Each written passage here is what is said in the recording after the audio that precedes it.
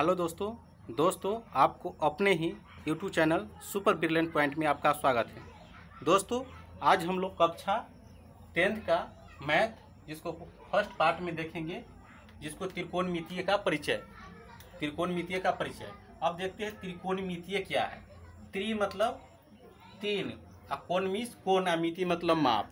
मतलब तीन भुजा वाले त्रिभुज के माप का अध्ययन करेंगे, वही त्रिकोणमितीय कहलाएगा। त्रिकोणमिति लेकिन वह भी कौन कौन में? सिर्फ़ समकोण त्रिभुज में। समकोण त्रिभुज मतलब वो ऐसा त्रिभुज जिसका एक कोण नब्बे डिग्री का हो तथा शेष दो न्यून कोण हो। तो देखिए त्रिकोणमिति ट्रैग्नोमेट्री गणित की वह शाखा जिसके अंतर्गत हम लोग समकोण त्रिभुज के तीनों भुजाओं एवं कोणों के मापों का अध्ययन करते हैं, उसे त्रिकोणमितीय कहते हैं। अब चित्र में देखिए कि यह एक समकोण त्रिभुज है। यह 90 डिग्री है 90 डिग्री है। और और शेष दो कोण 45 45 होगा मतलब न्यून कोण होगा। इसको देखते हैं कर्ण, जिसको हाइपोटेंस कहते हैं। इसको लम्ब है, जो परपेंडिकुलर है, और यह आधार है, जिसको वेस कहते हैं। ठीक है?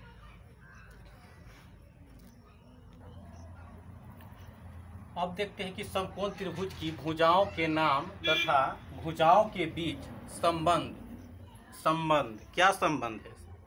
तो कह रहा है कि यदि समकोण त्रिभुज ए बी सी में बीस कितना हो? नब्बे डिग्री हो। मतलब मतलब त्रिभुज क्या होना चाहिए?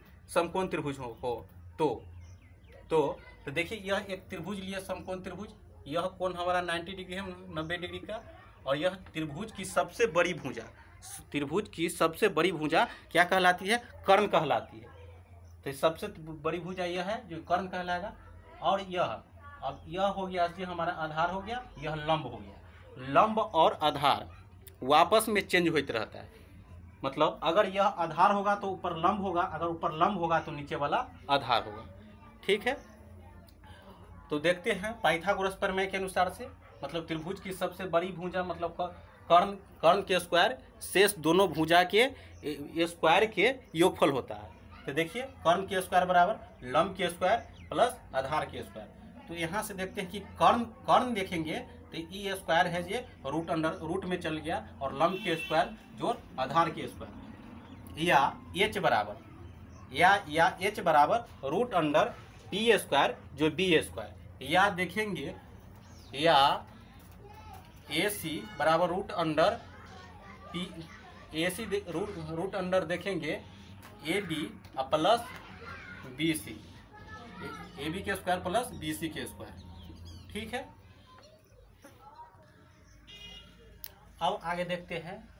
लंब बराबर रूट अंडर कर्ण के स्क्वायर माइनस आधार के स्क्वायर मतलब पी बराबर root under H square minus B square कहाँ से? तो मतलब कर्ण के स्क्वायर बराबर लम्ब के स्क्वायर और प्लस क्या होता है? आधार के स्क्वायर तो जब हम यहाँ से यह लम्ब को छोड़ देंगे, इधर लम्ब को छोड़ दिए तो ये हो जाएगा कर्ण के स्क्वायर माइनस आधार के आधार के स्क्वायर बराबर क्या हो जाए लम्ब लंब के स्क्वायर तो जब जब लम्ब के स्क्वायर जब यहाँ से लम्ब निकालेंगे तो यही ना हो गया रूट अंडर कर्ण के स्क्वायर कर्ण के स्क्वायर माइनस आधार के स्क्वायर, ठीक है?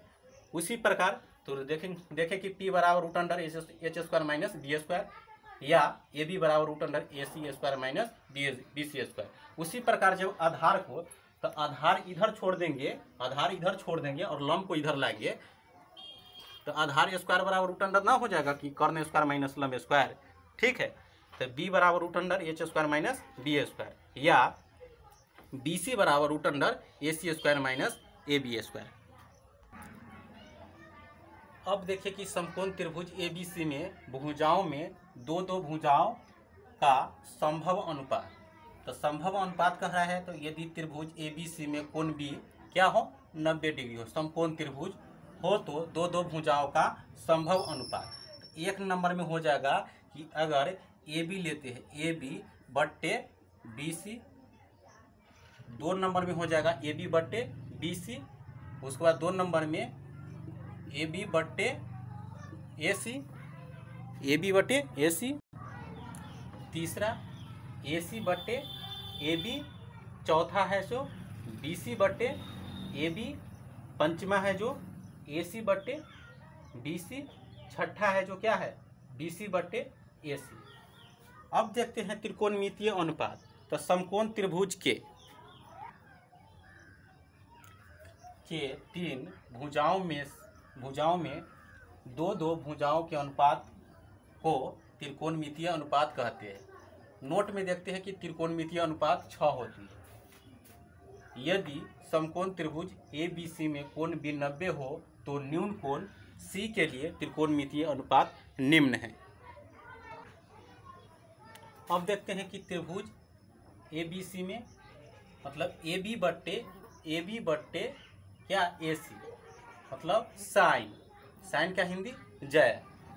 उसके बाद बी सी बी सी बट्टे ए सी को साइन मतलब को जया तीसरा है जो हमारा? ए बी और बट्टे बी सी मतलब टेंजेंट मतलब को स्पर्श जया। इसका हिंदी? स्पर्श जया। अब देखिए बी सी अब बी सी और बट्टे ए बी कॉट जेट मतलब को स्पर्श जया। उसके बाद देखते हैं कि ए सी और बट्टे बी सी सेकेंड मतलब छेदक जाए। लेकिन इसको हम लोग पूरा पूरी नहीं देखेंगे वहाँ। क्वेश्चन देखेंगे तो उसको साइन में देखेंगे, संक्षिप्त रूप में। साइन थीटा कॉस थीटा ठीक है वो? वहाँ संक्षिप्त रूप में देखेंगे। छठा नंबर देखते हैं कि ए सी बटे ए बी कॉसेंट मतलब को छेदक जाए। इसका हिंदी को छेदक अब देखते हैं त्रिकोणमितीय का सूत्र। अब देखिए साइन थीटा तो साइन थीटा लंब बटे कर्ण पी बटे एच यह आपका फार्मूला है, इसको याद रखना होगा। दो नंबर में कॉस थीटा आधार बटे कर्ण, जिसको बी बटे एच कहते हैं। तीसरा है जो टैन थीटा लंब बटे आधार, जिसको बी बटे एच और ये अगर तीन अगर याद रखते हैं तो इसी को उलट दीजिए। अब देखिए साइन का कौशिक थीटा कौशिक थीटा मतलब कर्ण बटे लम्ब मतलब एच बटे बी अब देखिए कौस के उल्टा सेक होता है।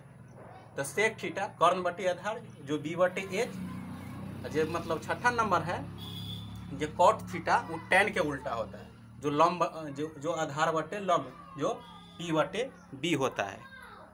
अगर यह फार्मूला आप अच्छी तरह से याद रख, रखते हैं तो क्वेश्चन बनाने में कोई दिक्कत नहीं होगा। और बिल्कुल आसान एकदम लगेगा त्रिकोण त्रिकोणमिति इतना आसान, कोई सब्जेक्टे नहीं है, कहिएगा। ठीक है?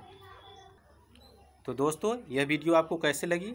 अगर अच्छी लगी है तो अपने दोस्तों के साथ शेयर करें सब्सक्राइब करें, ताकि आपका पल पल का नोटिफिकेशन आपको मिलते रहे। जय हिंद जय भारत।